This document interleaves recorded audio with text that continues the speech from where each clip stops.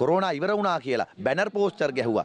දැන් වෙනකොට කොරෝනා නැවතත් ඇවිල්ලා බංකොලොත් බවට පත් වෙලා තියෙනවා. ආණ්ඩුව හිට අනිද්ද වෙනකොට මොනවා වෙයිද කියන්න බෑ. ඉතාමත්ම කනගාටුදායකයි. අපි කියන්නේ මේක ඉක්මනින් තුරන් කරන්න ඕනේ. මේක මැතිවරණේ දාගත්තා. කොරෝනා වලට වඩා මැතිවරණේ වැදගත් නිසා මලමිනි උඩින් ගිහිල්ලා හරි මැතිවරණය කරන්න ඕන කියලා තමයි මේ අය මේ වැඩේ කරේ කියන එක අපි මේ වෙලාවේ මතක් කරනවා.